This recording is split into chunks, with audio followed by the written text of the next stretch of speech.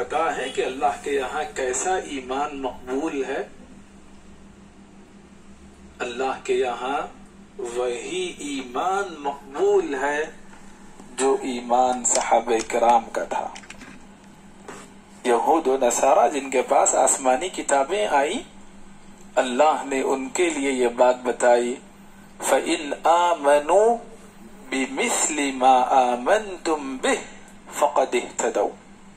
اے صحابہ، تمہارا جیسا ایمان ہے تعویلات والا نہیں، تحریف والا نہیں، اسماء و صفات کا انکار کرنے والا نہیں، تمہارا جیسا خالص ایمان ہے۔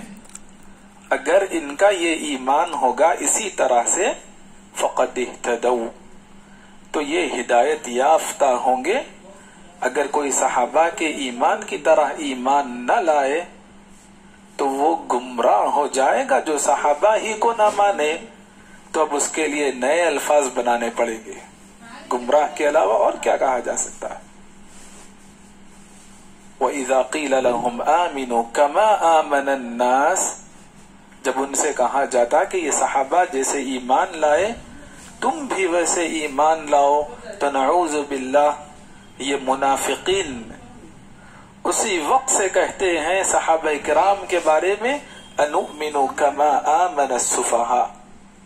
نعوذ باللہ، صحابہ کو بے عقل قرار دیتے ہوئے کہتے ہیں کہ یہ لوگ جیسے ایمان لائے ہیں، کیا ہم اس طرح سے ایمان لائے؟ امام مالک رحمت اللہ علیہ نے یہ بات بتائی کہ اس امت کا آخری طبقہ اگر سدھر سکتا ہے تو اس امت کے پہلے طبقے کے طریقے کو، افکار کو، طریقہ کار کو اختیار کرنا پڑے گا۔ اس کے علاوہ سدھار کا کوئی اور راستہ نہیں۔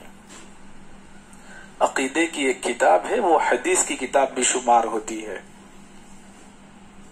نصر المروزی رحمہ اللہ کی، السنہ۔ اس کتاب میں عطبہ بن غزوان رضی اللہ عنہ سے صحیح درجے کی روایت ہے۔ رسول اللہ صلی اللہ علیہ وسلم نے فرمایا، اے صحابہ، ان من ورائکم ایام الصبر۔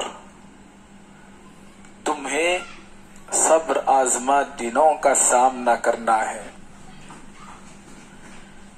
للمتمسک فیہن یومئذ بما انتم علیہ۔